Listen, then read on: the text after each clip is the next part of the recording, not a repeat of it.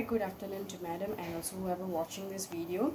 I'm Prialoshini from PC 801 First Aid. So today I'm going to perform an ankle bandage.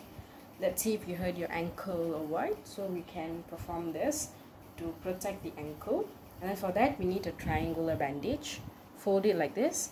Place it under your feet. And then twist it. Goes under your ankle also. Bring it front. Twist it again. Bring it to the back of your leg your ankle. Bring it to the front. Tie a knot. And the remaining the remaining just hide it here. And that's how you perform an ankle bandage